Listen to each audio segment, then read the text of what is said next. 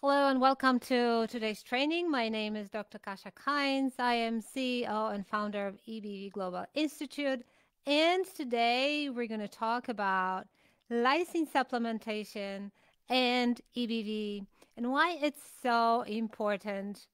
It actually made to my top eight supplements and it's part of the core protocol that we use in our EBV recovery program. Lysine, similarly to NAC, is an amino acid. There are some similarities between them. So, certain things that I'll talk about today I'll indicate you may want to go to the NAC training to review some details I'll skip today because they are similar. Amino acid is a building block of protein. It's an essential amino acid, which means the body requires it from food, it doesn't produce it by itself, but it's abundant in food. So if you eat foods, you're going to get it in your diet. However, by the time you have chronic EBV, diet is actually not going to move the needle and will not turn off the virus with as much as the diet can provide of lysine. Depending on weight, a healthy person needs about 800 to 3000 milligram lysine from food every day. Now, lysine has a direct effect on EBV. It's directly antiviral, which is very important. However, it's very interesting. We don't have enough studies actually to show how amazing it is for this particular virus. We have plenty of studies for herpes viruses, including cold sores, canker sores, genital herpes, no problem. And I have seen resolve these issues. I have seen these issues resolved with even 500 or 1000 milligrams of lysine and sometimes within 20 minutes. It's remarkable. And we do have studies. And when you look at studies for lysine, there's very few. However, it is an amazing anti EBV supplement. It has great reputation. I can confirm it from my clinical practice. So there's one study in particular that I want to quote. There is a component in lysine. I'm going to read it for you. Histone, H3, lysine, methyltransferase, SUV 39H1. And that particular complex helps maintain EBV latency meaning being dormant between reactivations. And again, go back to NAC training because I talk about latency, why it's important. NAC has a similar study. so I explain this concept in more depth. There's also the concept of arginine versus lysine, and some people restrict arginine rich foods just because we learned that lysine and arginine compete with each other. And so I would caution you against restricting a complete food group because it may backfire. What we know about arginine is that it's required for many viruses to replicate, and that includes EBV. Uh, what is a little confusing is sometimes high arginine food sources are also high lysine sources. So the solution is not restriction, solution is more lysine because they compete. So I would say you want to have a therapeutic amount of lysine in supplements on top of the diet rather than reducing all the foods with arginine.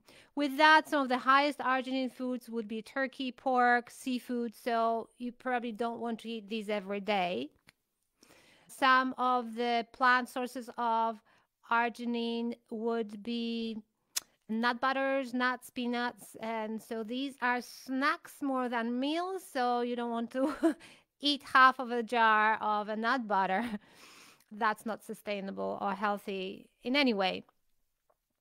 Arginine can be manipulated by the virus. And according to my interview with Dr. Vojdani, EBV is the only virus that can citrullinate arginine. Citrullination means that arginine has has altered its amino acid sequence and this is linked to autoimmune disorders, for example, rheumatoid arthritis, multiple sclerosis, psoriasis, Alzheimer's, even cancer. And currently in medical practice, doctors already use the test for citrullinated antibodies when looking for early stages of rheumatoid arthritis. That's established already. And so you can ask your doctor for citrullinated antibodies. It's rare that it comes up. It might. And so again, the solution is make sure that you have therapeutic level of lysine on top of the diet. So let's talk about many other benefits of lysine, why it's such an unsung hero on so many levels. I have a list here that I'm just going to read because there's so many things that lysine actually does. Remember, it's a building block of protein. It's an amino acid. We need that for a lot of functions. It increases cal- calcium absorption and therefore can help prevent osteoporosis. it's not about having enough calcium, it's about the absorption of calcium.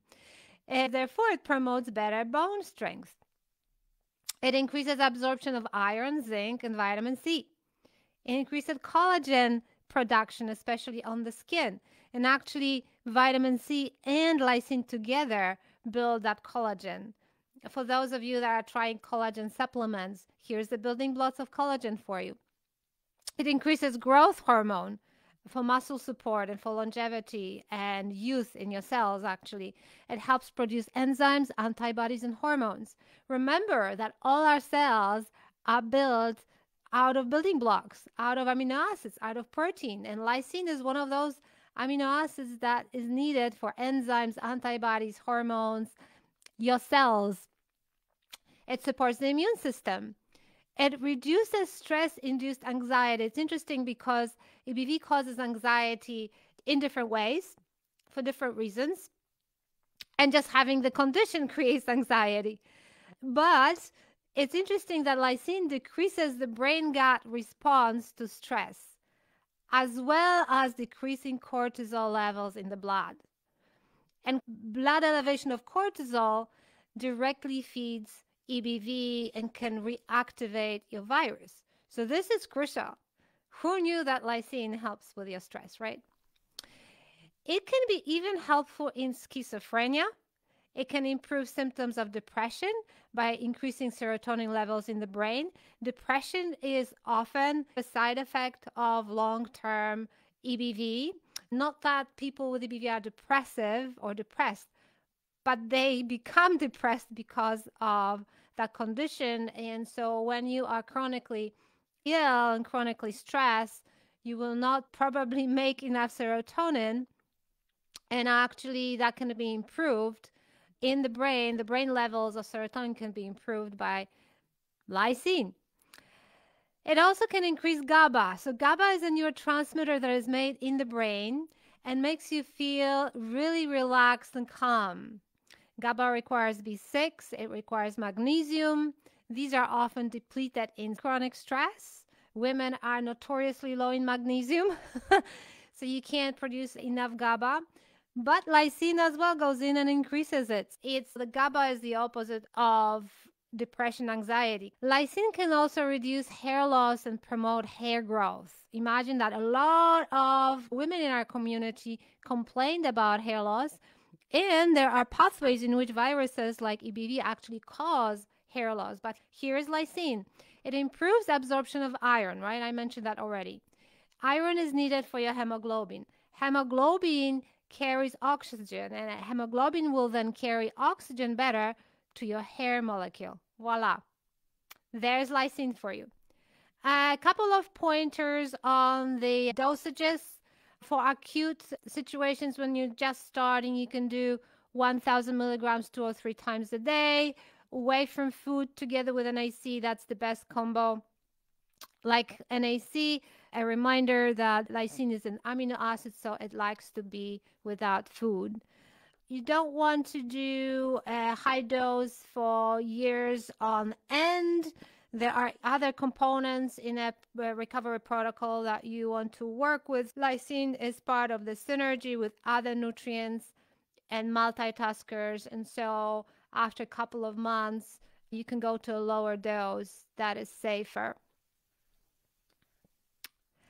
All right, let me see. There's a couple of warnings and side effects and when not to use lysine. So let's talk about that.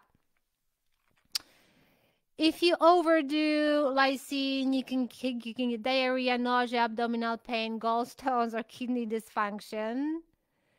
Don't use it if you have hemochromatosis because lysine enhances iron and vitamin C absorption. Vitamin C absorption also enhances iron absorption. So that's not something that you would use. But for the same reason, it's beneficial if you have iron deficiency. High doses of lysine long term can increase cholesterol and increase risk of gallstones, at least according to animal studies. So if you have either of these conditions, you may want to be very conservative, maybe one capsule a day. Now, of note is the fact that we have studies showing that high cholesterol can be caused by EBV itself. It can be caused by hypothyroidism or also Hashimoto's. and one of the causes of Hashimoto's is EBV. And high cholesterol can be induced by diet. And it's often easy to bring it down and regulate it to normal. So, first, I would say work with a clinical nutritionist, work on your lifestyle, on your diet, bring that cholesterol down, and then you can enjoy the benefits of lysine, no problem. Also, if EBV is causing high cholesterol, as you incorporate other supplements and a full EBV protocol, the cholesterol will self regulate, and then you can add therapeutic dose of lysine at that point. So, you want to work with a clinician. So, again, high doses shouldn't be taken with compromised kidneys. Also, don't take high lysine if you have aminoglycoside antibiotics. I'm going to read some of the examples gentamicin, neomycin, streptomycin, etc. Because there is a risk of nephrotoxicity, which is toxic kidneys. Long-term excessive consumption of lysine may increase risk of Fanconi syndrome, a condition where nutrients normally absorbed into the bloodstream are excreted as urine instead. There is a case report of a 44 year old woman who was taking 3,000 milligram lysine for five years, developed this condition, and also chronic renal failure. So you don't want to be on a high dose of lysine for this long. You should not need it for EBV for this long. Recovery should not take that long. If I have anything to do with it, we're talking about months of therapeutic lysine. So when you get over EBV, when you are already functional, you may just stay with one capsule 500 and that's that. Other things to mention remember, it's best between meals. And like I said, a couple of months should be what you need. It's an unsung hero. And just like NAC, I'm really surprised that we don't have enough studies on EBV in particular. So enjoy them. Uh, they can be taken together because they're both amino acids, away from foods again. And hopefully, this will help you feel better. I hope this training was helpful, and I'll see you next time.